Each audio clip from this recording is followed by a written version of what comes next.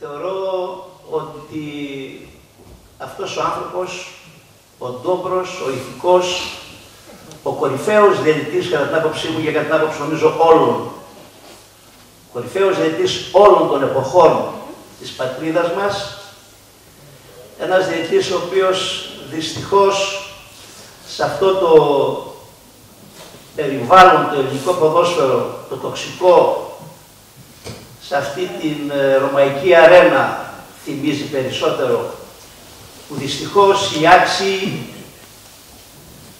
αυτοί που έχουν αρετές, αυτοί που έχουν ταλέντο, δεν τους χωράει η πατρίδα μας και βλέπουμε και δεν κατάλαβα ποτέ να έχουμε αρχιδιαιτητές από το εξωτερικό και ο δικός μας άνθρωπος, ο κύριος Βασάρας, να είναι αρχιδιαιτητής καταξιωμένος στην Ευρώπη, να είναι καταξιωμένος από τη FIFA, καταξιωμένος από την UEFA, διαιτητής ο οποίος έχει διευθύνει ημιτελικούς Champions League, μεγάλα διεθνή παιχνίδια, αυτός ο κορυφαίος επαναλαμβάνω διαιτητής όλων των εποχών, που εγώ έχω διπλό, ε, διπλή χαρά σήμερα που είναι εδώ γιατί ως παράγοντας του ποδοσφαίρου συνδέω τον κύριο τον Βασάρα με την κορυφαία παραγωγική στιγμή της καριέρας μου, αυτά τα 40 χρόνια που υπηρετώ το ποδόσφαιρο,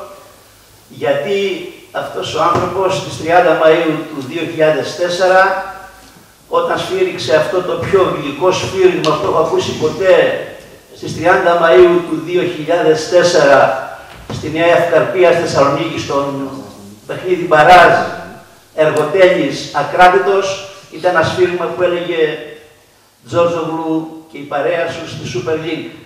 Κάλεσε να έρθει για το βιβλίο του. Ε, με χαρά την επόμενη μέρα, 5 Ιανουαρίου, αν θυμάμαι καλά, ήρθε το βιβλίο στα χέρια μου, το διάβασα όλο το βιβλίο μία-δύο ώρες ασχολήθηκα πάρα πολύ. Ήξερα το δρόμο του ποδοσφαίρου που είχε, που είχε κάνει την πορεία του. Από εκεί έμαθα το οικογενειακό του δέντρο, έμαθα τον εφηβικό του δρόμο, τα έμαθα όλα.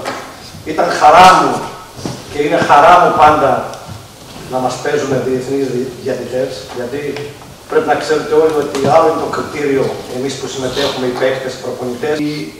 Μέσα στο βιβλίο γράφει πολλά πράγματα για να φτάσεις ψηλά πραγματικά πρέπει να ματώσεις, πρέπει να αποδέσει, πρέπει να σε αμφισβητήσουν, αλλά να σταθείς στα πόδια σου. Έχουμε πολλούς διαιτητές αξιόλογους, πάρα πολύ καλούς. Έχουμε και καινούριους που μπορούν να φτάσουν πολύ ψηλά.